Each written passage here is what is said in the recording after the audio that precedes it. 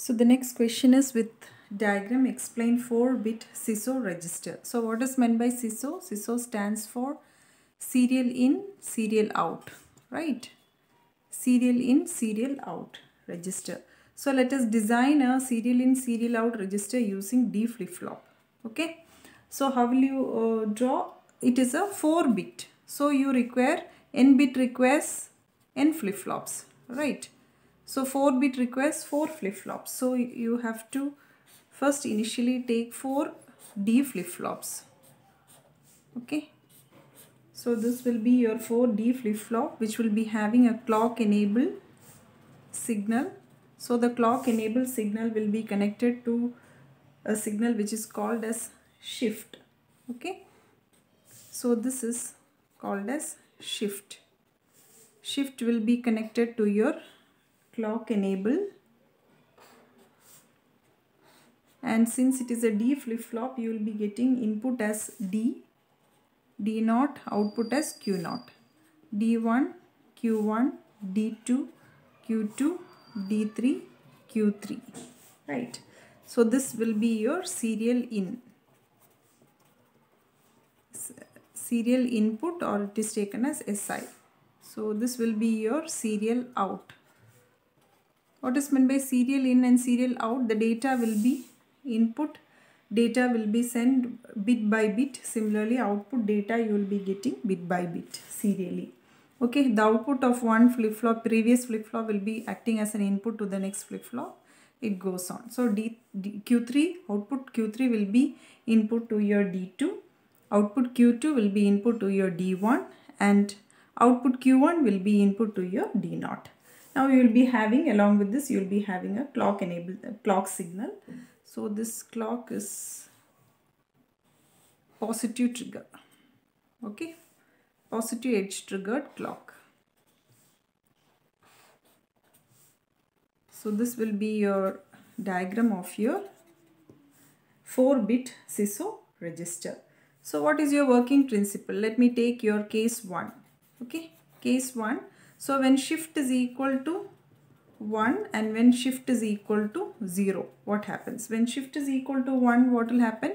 Your clock will be enabled and shifting occurs. So you will be having shifting of, of data. When?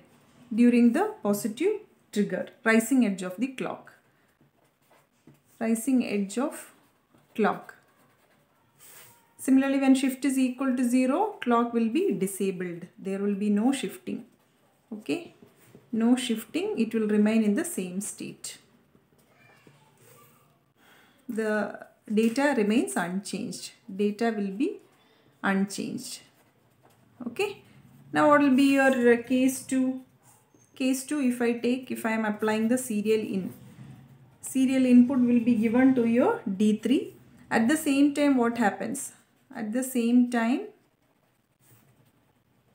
shifting occurs. That is q3 will be shifted to d2 q2 will be shifted to d1 and q1 will be shifted to d0 okay? So this will be your uh, general concept so now let us assume, uh, let us take one example, okay. Let us assume that the initial value of the register is equal to, so initial value is equal to 0101 and your serial input what I am going to give is in the order 1101. So if this is a condition, how will your how will you get your timing diagram? So first initially you will be having a clock signal, right? So this will be your, let me assume that this is your clock signal. So clock is activated during the rising edge. So clock signal and next you will be giving the input, next graph will be your input data or your serial in. So what is your serial in? 1101. So it will be 1, 1, 0 1 okay? Now what will be the outputs? Q3 q2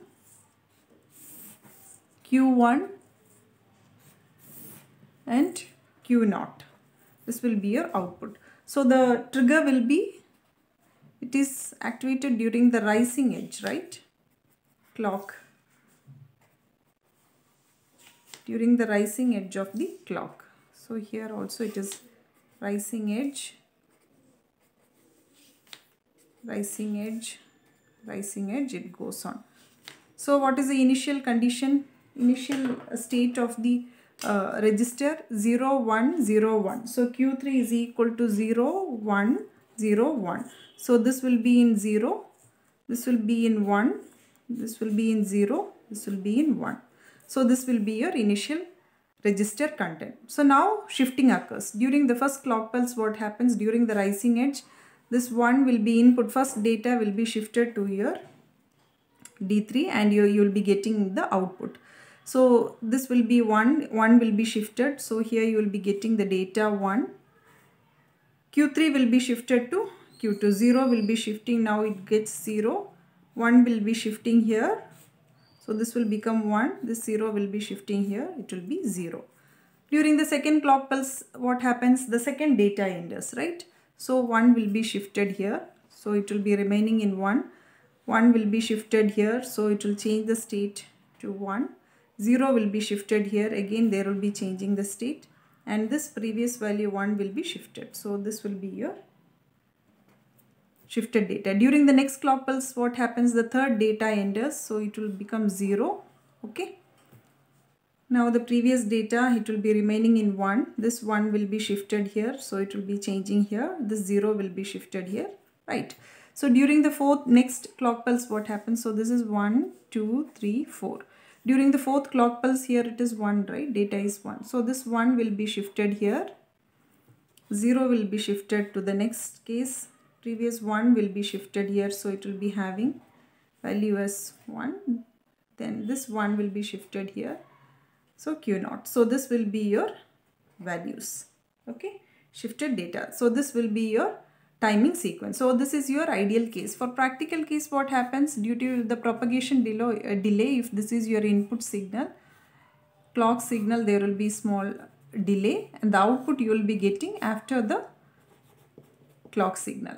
So this will be your due to your propagation delay in your practical case. So this is your design of your 4-bit SISO register. So this is your diagram and this is your timing diagram okay so input uh, your initial value is 0101 and your serial input is 1101 okay 1101 so this is your corresponding output what you are getting